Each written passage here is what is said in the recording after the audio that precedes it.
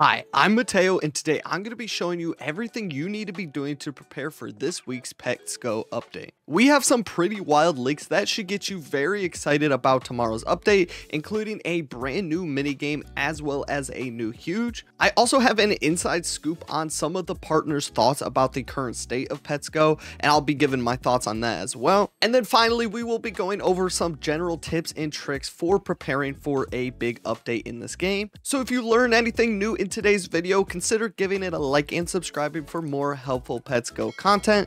Now let's get straight into this update. Alright you guys, so as you can see, I am making this video a little bit late. We currently have a 11 hours and 38 minutes. That's actually interesting you guys. That means that the update's actually going to be at 11 a.m. Eastern tomorrow and not 12 p.m. I'm not sure if this is just a bug with the timer because of daylight savings time or if this is actually when the update's going to come out, but I just actually noticed that, so it's a good thing I'm making this video. It looks like the update might be an hour earlier than we typically see it due to the daylight savings time change. Now, right off the bat, let's just go over the leaks that we have confirmed from Big Games themselves. And to start off with, tomorrow, this dock is going to be completely different because we are actually getting a brand new fishing minigame added. Let me go pull up the clip really quick. Now, what you'll see when this clip is playing is that it's very similar to the Pet Sim 99 style of fishing. Now, the other thing is when he actually reels this in, you can see that he actually gets 10 fishing tokens.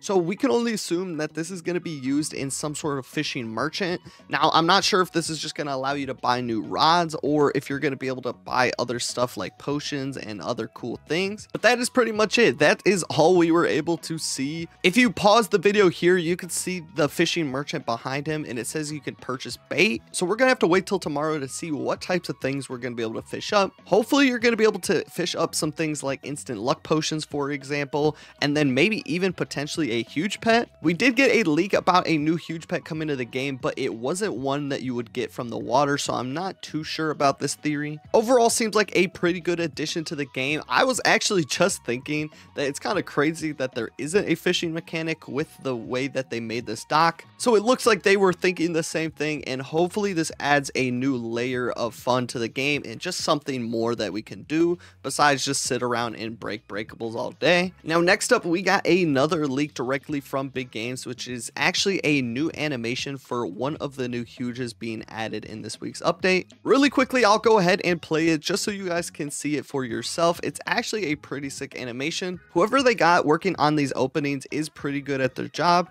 Now, I'm just going to let it play here, so I'll be quiet.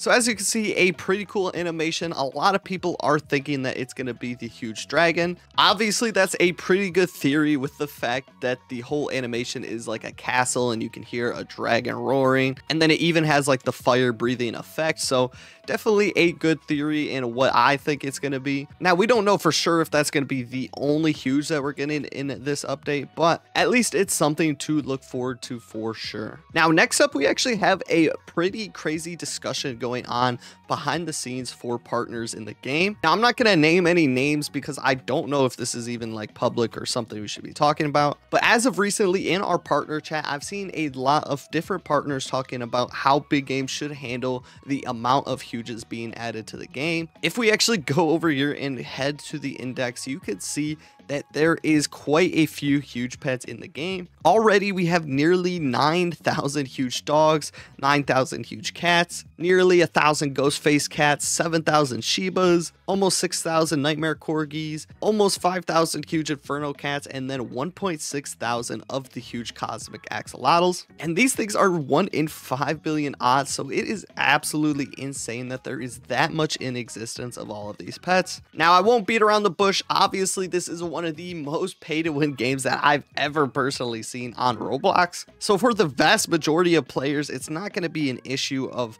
people getting too many huges. It's really only the top spending people that are actually getting these. Even with my account, I bought all of the game passes that came out with the game initially, but I haven't bought anything since then. And so far, my best pet is only this 1 in 140 million black hole kitsune. Oh, wait, we actually have a 50,000 roll. Let's go do that real quick. And okay. So yeah, as you can see, I don't think it's a major issue that most players in the game are going to be getting too many huges. Honestly, don't even think this discussion matters all that much, but I do agree with a lot of the points they made. Now, the first major point that was the topic of discussion is whether big games should actually go ahead and sunset huge pets. Now, what sunsetting huge pets means is that they would make it so you could no longer get certain huges anymore. So for example, like the huge ghost face cat, nobody's ever going to be able to get another one of these. So that means it is sunsetted, which is overall a good thing for the trading community because it creates scarcity and the prices of these are going to go up as people want to collect them and there's going to be very few in existence that they can actually buy. Now, I think what the major discussion was is if they should start sunsetting the basic huges like the huge cat or the huge dog,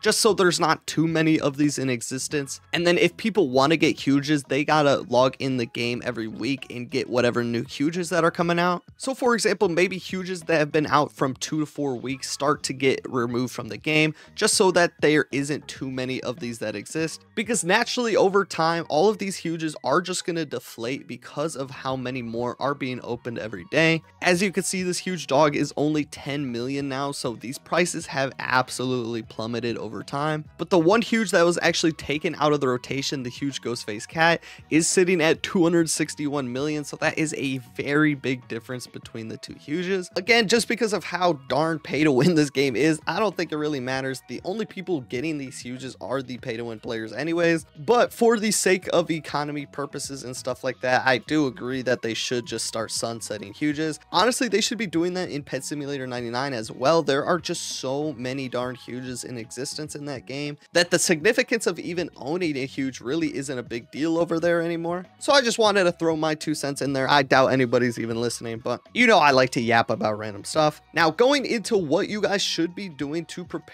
for tomorrow's update, you only have 12 hours, so you really have to get on this method. But I uploaded a video a few days ago that I definitely think you should watch, but if I can give a quick summary, but basically what you do is you go ahead and unlock the instant luck tier 4 potion. Now the reason why you go ahead and unlock that is because you actually get one for free when you do so. So you get one of these potions for free, which then you can go ahead and sell instantly for 105,000. Now when I made that video, these were 160k, but now they're only selling for 105. So you are going to be making a little less, but you can still most definitely make a lot of diamonds doing it. Now once you go ahead and sell that first pet and you have some diamonds to work with, what you're going to want to do is head into the trading plaza and look for pets that are one in a million plus rarity. It has to be between one in a million and one in 10 million. All of those pets you can use in the pet juicer machine to make an instant luck four. So if you buy a bunch of pets for 2000 diamonds or less,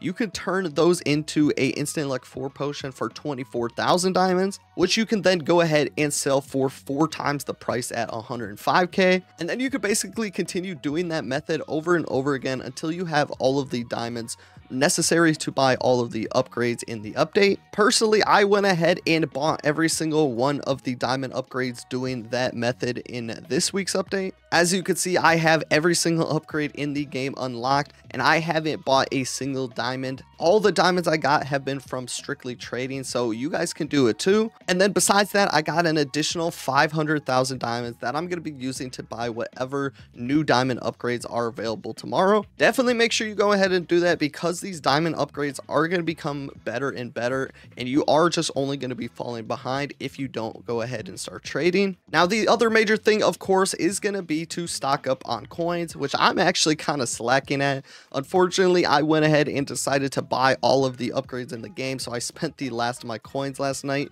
forgetting that the update was coming tomorrow. So right now, I'm going to have to go ahead and start grinding for coins once again. But because they raised the coin cap to 2.5 billion. I suspect that a lot of the upgrades in tomorrow's update are going to be very expensive. So you are going to want to stack up on your coins. Don't be like me and have more than 400 million. And then make sure you are knocking out your quests as well because these are very good and give you a lot of very nice potions. Like for example, if I break 20 safes, I get six cocktails right now. As soon as I got this mission though, I haven't seen a safe in like the past hour. But one thing I would make sure you do is just go ahead and save your potions and don't craft them into the upper level potions until tomorrow. Just because they might introduce some new levels of potions that require all of the lower levels. So it's just important to stay prepared and be ready for whatever we might face. Now it is getting pretty late and I didn't realize we are an hour behind. So I need to push this video out to you guys. So I'll just end it here. But if this video did help you out, remember to give it a like and subscribe for more. Hope to catch you in the next one and peace out.